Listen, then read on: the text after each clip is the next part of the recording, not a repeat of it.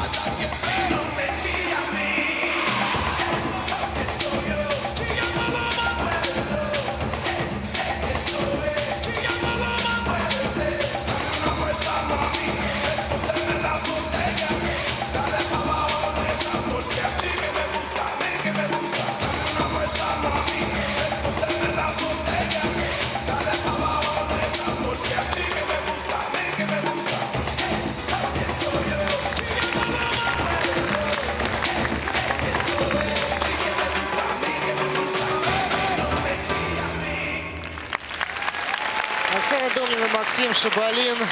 Мне очень нравится этот оригинальный танец. Э, В начале сезона я уже имел возможность э, его увидеть. И, безусловно, это очень-очень красивый, очень талантливый. И я уверен, с большим будущим дуэт. Им осталось подождать совсем, совсем чуть-чуть.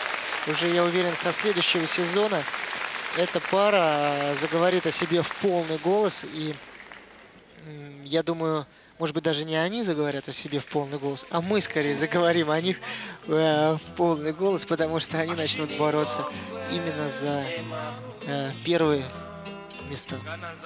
Э, безусловно, ой, очень красивые. И э, э, их тренеры Алексей Горшков и хореограф Сергей Петухов, которые в прошлом э, являлись тренерами э, Альбена Денкова и Максима Ставицкого, э, ведут пары своим только им понятным путем, и поэтому пары действительно со своим лицом, что очень-очень важно в танцах на льду.